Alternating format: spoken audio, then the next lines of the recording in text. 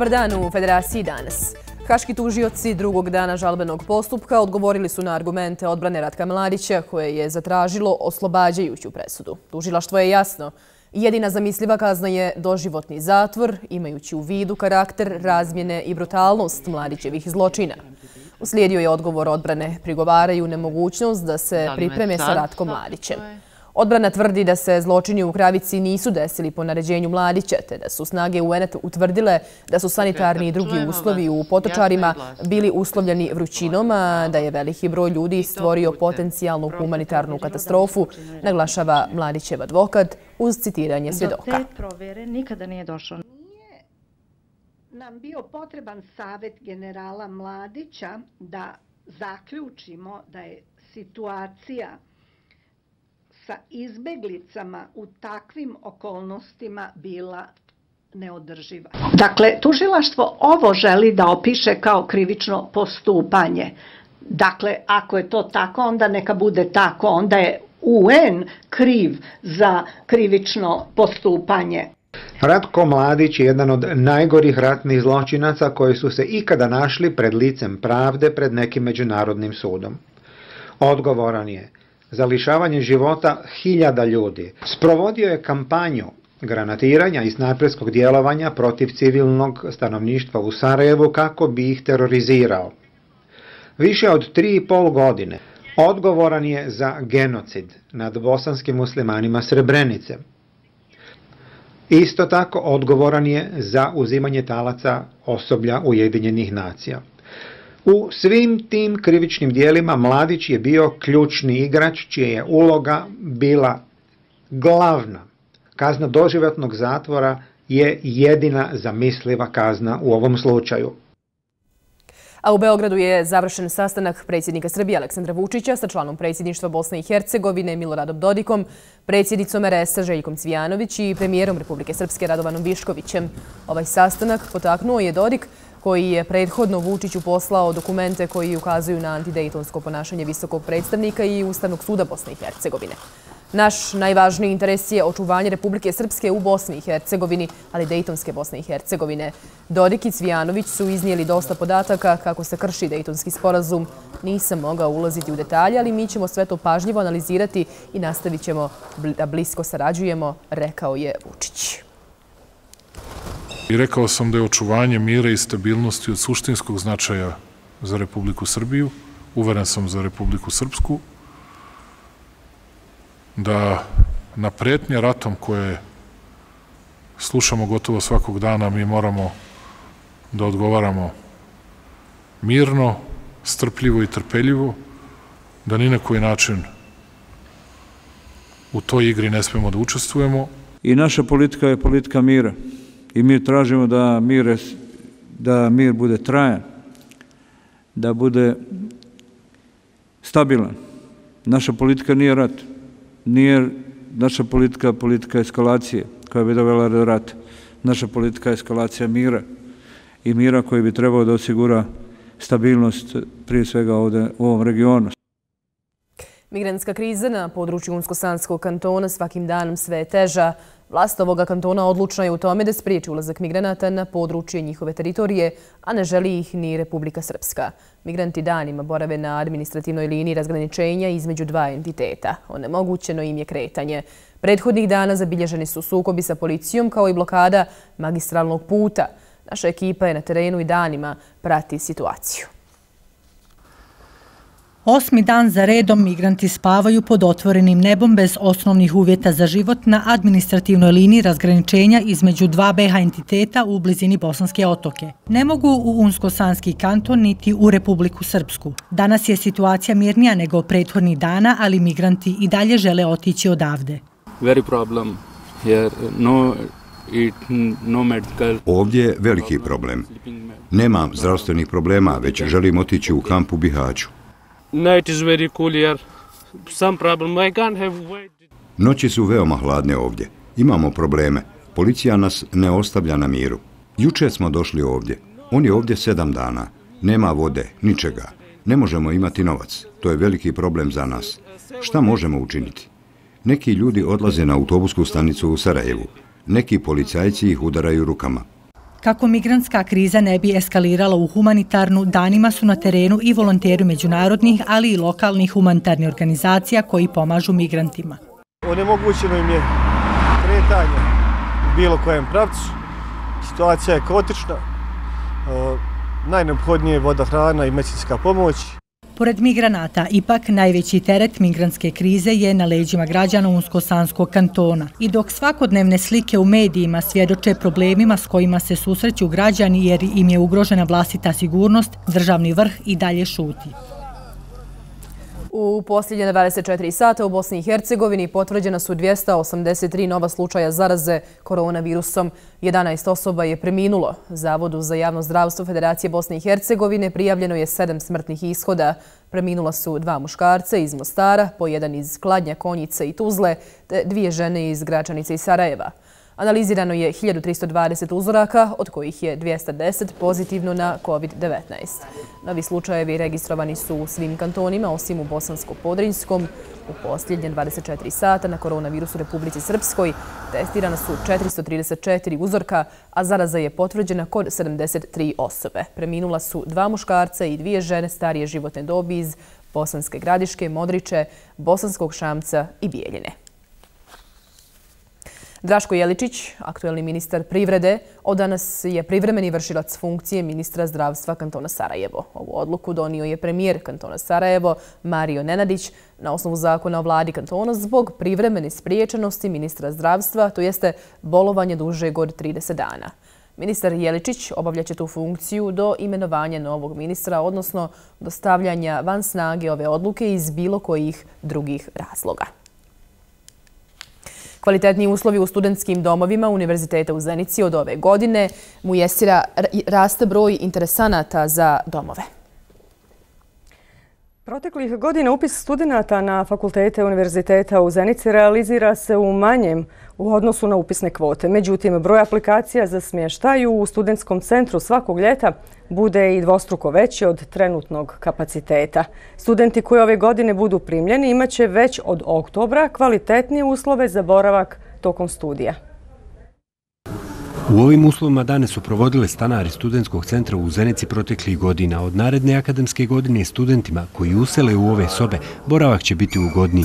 Radit ćemo zamjenu, odnosno postavljanje laminata u svim studentskim sobama, zamjenu inventara u vidu studentskih kreveta, radnih stolova, stolica, plakara i nadam se da ćemo uspjeti ovo sve završiti do 1. oktobra. Za poboljšanje uslova u studentskom centru osigurano je stotinu hiljada maraka i sredstava resurnog kantonalnog ministarstva. Kapacitet od 220 kreveta već odavno je postao mali u odnosu na broj aplikacija koji svake godine ima čak dvostruko više. Planiramo e, realizaciju e, dodatne gradnje ili e, izgradnje aneksa studentskog doma i taj posao radimo u okviru projekta javno-privatnog partnerstva. U toku su na određen način razgovori, radno tijelo pregovara o uslovima izgradnje aneksa studentskog doma. Uporedo sa planom odvijanja nastave na fakultetima Zenčkog univerziteta, u slučaju poboljšanja epidemiološke situacije organizirat će se i smještaj u centru. Nakon što je ukinuta o mobilizaciji objekta studentskog centra, imali priliku da na mjesec dana ponovo vratimo studente u studentski centar i u tom periodu, hvala Bogu, nije bilo nikakvih problema, nije bilo zaraženih studenta. Što se tiče epidemiološke situacije i početka nastave na univerzitetu u Zenici, naravno i mi ćemo se prilagođavati u odlukama i odrebama kako kriznog štaba, tako i ministarstva obrazovanja. Konkurs za prijem u ovu ustanovu raspisan je do 24. septembra kako bi mogli aplicirati studenti koji steknu uslove tokom septembarskih rokova, pa će prvi stanari već u oktobru useliti u sobe sa obnovljenim enterijerom. U drugom dijelu javljanja govorimo o školi fotografije. Upravo tako mu jesira. Za sada hvala. Na sjednici privremene istražne komisije predstavničkog doma Parlamentarne skupštine Bosne i Hercegovine za utvrđivanje stanje u pravosudnim institucijama BiH govorio je bivši tužilac tužilaštva Bosne i Hercegovine Miroslav Marković. Kao osnovnu manu istakao je to da je VSS organ bez kontrole, a protiv njihovih odluka nema pravnog lijeka. Problem je, kako kaže, i sam izbor članova, jer se dolazi u situaciju da se imenuju sudije i tužioci bez dana radnog iskustva. Iako je za danas bilo najavljeno da će komisija saslušati predsjednika Suda Bosne i Hercegovine, Ranka Debevca, On je zbog obaveza otkazao svoje prisustvo. Članovi komisije ističu da su zadovoljni dosadašnjim radom i saradnjom sa svjedocima. Ovo je već osma sjednica komisije u samo tri mjeseca, od kojih je mjesec dana malte ne bio ovaj kolektivni godišnji odmor.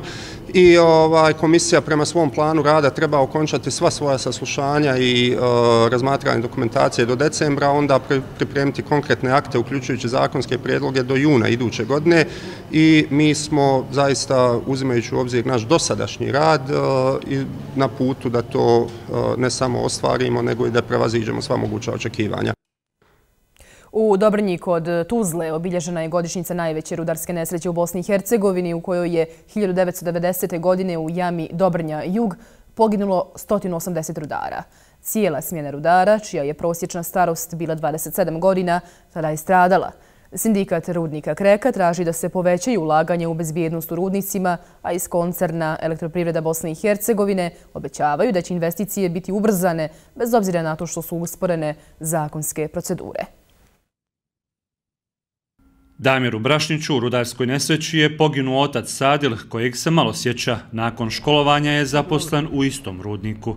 Bolno je to sve, vjerujte. Iako ja radim u ovom rudniku, ne mogu reći, jesam pošteđen na nekakav način. Jer ne silazim u jam. Moj otac je izgubio život u jam. Ne silazim u jam. Radim na, na, na klasirnici kao mašinski poslovođa. 30 godina nakon najveće rudarske nesreće, rudari rudnika Mramor i dalje kopaju ugalj za starijelom opremom.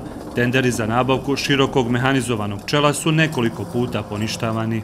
Pet godina se nadamo tom famoznom čelu koje bi obezbijedilo, humaniziralo rad, obezbijedilo veću proizvodnju, a samim tim bolji standard rudara. Nažalost, raznoraznim dešavanjima i slobodno mogu kazati, politikanstvom, nismo to ovaj dočekali. To je izvan ovaj naših e, nadležnosti i mogućnosti jer se slučaju vode na uredu za, za, za razmatranje žalbi e, ovaj tako da, da ja vam na takvo pitanje dakle precizno ne mogu odgovoriti ali elektroprivreda će evo nastojati da te procedure ubrza, skrati. Restrukturiranje rudnika je jedina slamka spasa za rudnike Kreka, ali i ostale rudnike koncerna elektroprivrede Bosne i Hercegovine organizacijskim promjenama, intenzivnijim ulaganjem u eh, rudnike uglja u, u koncernu, mi želimo ozdraviti eh, rudnike i eh, želimo da oni kao takvi se na neki način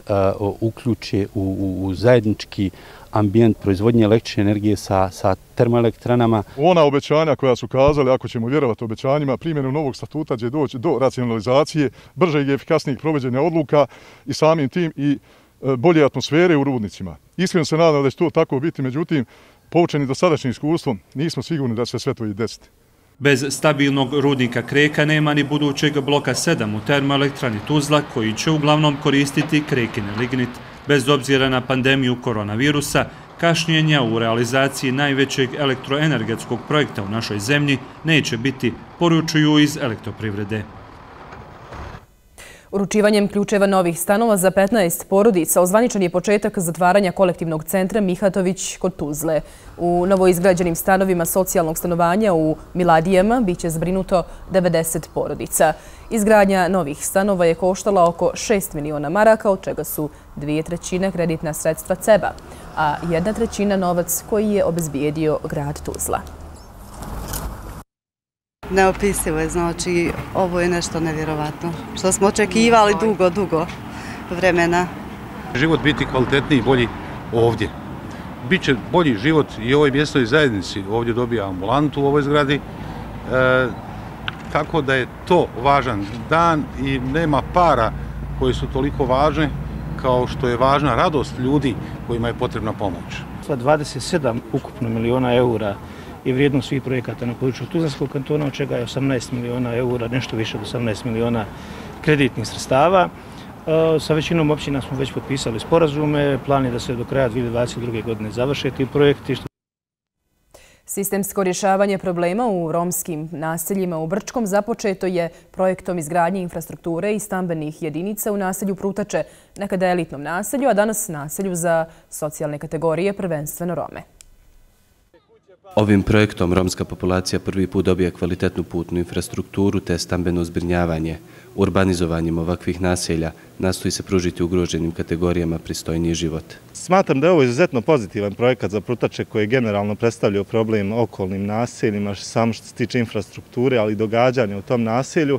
Mislim da je ovo jedan pozitivan pravac e, koji, koji će se nastaviti ne samo na putnoj infrastrukturi, nego i na stambenoj. I mislim da je konačno došlo vrijeme da se te neke stvari u naselju popravi. Vlada Brčko distrikta Bosne i Hercegovine je izdvojila i pola miliona maraka za obnovu i sanaciju romskih kuća u ovom naselju. Taj projekat počinje odmah nakon izgradnje putne infrastrukture. Samo da napomenem da se radi o sredstvima Ministarstva za ljudska prava i Iglice Bosne i Hercegovine 130.000 maraka i vlade Brčko distrikta dakle 120, a vlade već sa 30 tisuća maraka. Dakle, samo da napomenem da je dio sredstava ostao, on će biti raspoređen u, dalje dakle, projekte. Inače, od nedavno je Brčko distrikt Bosne i Hercegovine uključen i u novi pilot projekat na nivou Bosne i Hercegovine zajedno sa opštinom Kakanj, a tiče se takozvanog mapiranja, odnosno prikupljanje podataka o stambenom i infrastrukturnom zbrinjavanju Roma. I ovaj pilot projekat finansira se iz sredstava Ministarstva za ljudska prava izbjeglice Bosne i Hercegovine. A u Hercegovinu slikom idemo po priču o porodičnom poslu koji je i tekako profitabilan, ali i dalje nije prepoznat u našoj zemlji. Kristina, o čemu je riječ? Posjetili smo plantažu smokava u mjestu Lokve na domak Čapljine. U obitelji Šator koja se više od 20 godina bavi smokvarstvom, berba je u punom jeku, a plodovi nikada kvalitetniji. Urod smokve ove godine izuzetno je dobar. Obitelj Šator dnevno na tisuću stabala ubere do tisuću kilograma stambolke ili popularne bijelice.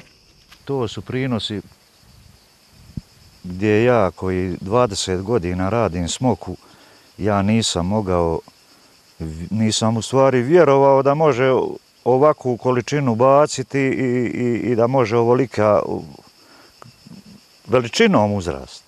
Cijela obitelj zajedničkim snagama bere, priprema, a potom i plasira smokve na tržište. Čak 90% proizvoda plasira se u glavni grad Bosne i Hercegovine.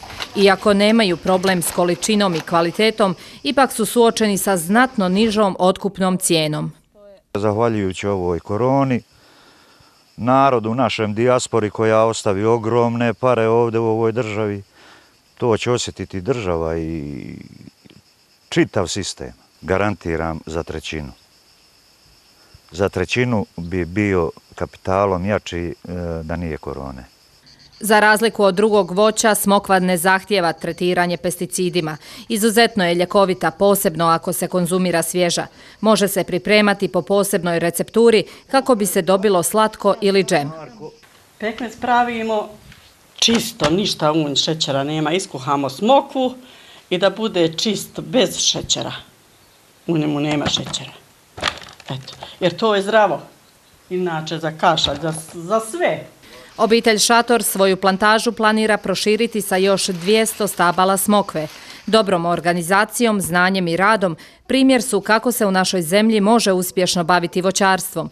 No ovaj profitabilan proizvod još nije prepoznat u Bosni i Hercegovini s obzirom na to da još ne postoji zakon koji bi unaprijedio smokvarstvo, a samim tim pokrenuo njenu industrijsku preradu. U Ljubuškom je održana likovna kolonija umjetnika iz Bosne i Hercegovine i susjedne Republike Hrvatske. Stvarali su u prirodnom ambijentu uz vodopad Koćuša, a nastali radovi javnosti će biti predstavljeni početkom iduće godine na izložbi u povodu Dana grada Ljubuškog. Većina sudionika kolonije za temu je odabrala ljepote rijeke Trebižat. Pažnju slikarice Ivanke Galić iz Županje osim vodopada zaokuplja bogata priroda ovog podneblja, prvenstveno šarolik biljni svijet. Ja sam se odlučila za nešto drugo osim vodopada, pošto vidim da svi vole vodopad crtati. E, ja volim i neke druge stvari.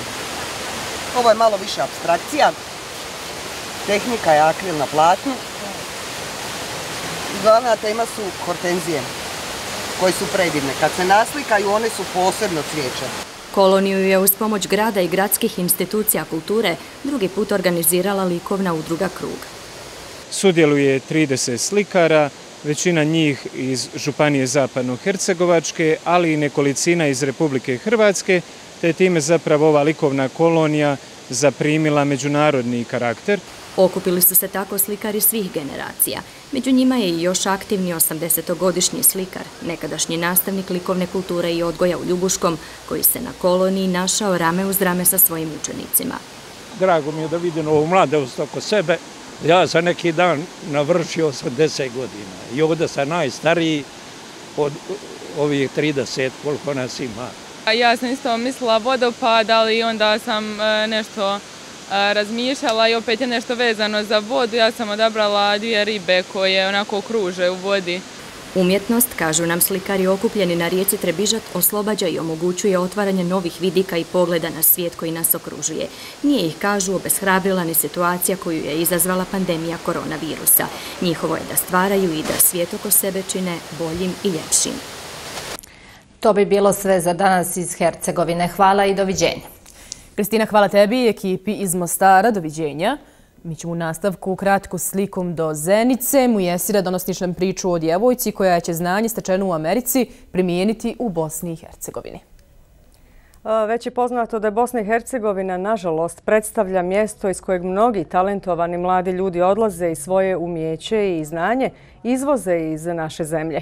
Ipak neki od njih svoj životni put odlučuju nastaviti ovdje. Primjer je tome i Dijana Muminović. Nakon završenog studija fotonovinarstva i master vizualnih komunikacija u Americi, odlučila se vratiti u Zenicu i pokrenuti jedinstvenu školu fotografije. 73-godišnja Đurđica Mirković ljeto 2020. odlučila je provesti uz školu fotografije koja u Zenici postoji već duže od tri godine. Penzionerski dani ispunjeniji su uz umjetnost, a pored nje rame uz rame dijeluju i razne generacije zaljubljenika u fotografiju koji su se okupili ovdje sa različitim motivima na što su posebno ponosni ističe Dijana Muminović, osnivačica škole fotografije.